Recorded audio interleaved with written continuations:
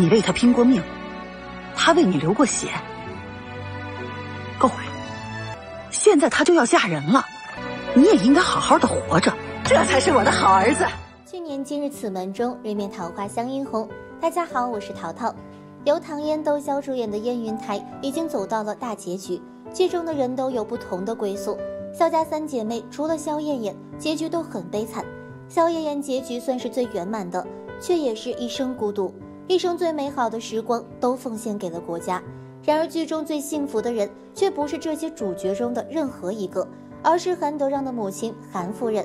虽然韩夫人戏份并不多，但是我们还是看到了一个夫妻恩爱、儿女出息、家族荣耀、一生顺遂的女性形象。无论是韩德让的父亲，还是韩德让，都受到了朝廷的重用，因此韩夫人也是荣耀加身。韩夫人最让人觉得幸福的，不是丈夫和儿子都身居高位，而是生活中的小日子过得很开心。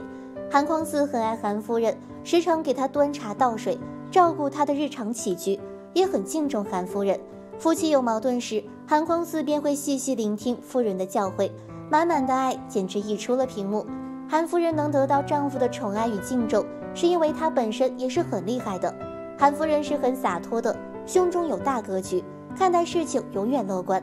韩德让因为和萧燕燕私奔，身受重伤，韩夫人心疼不已，但同时赞同韩德让的行为，暗地里骂明义。韩夫人年轻时候一定也是洒脱不羁的，丝毫不输萧燕燕，因此为儿子打抱不平。但她同时又是理智的，让儿子看清现在的局面，振作起来，陪韩德让一起喝酒，告诉他和萧燕燕的遗憾没什么，有过那些经历便是值得的，要他发愤图强，和燕燕站到一起，做他的精神伴侣，心灵的陪伴更可贵。叶律贤死后，韩夫人鼓励韩德让和萧燕燕在一起。韩夫人并不顾及世俗的眼光，反而数落儿子不肯为自己争取。看得出来，韩夫人是个活得很通透的人。正是因为韩德让有这样一位睿智的母亲，他和萧燕燕最终才能修成正果，否则他和萧燕燕之间将永远遗憾。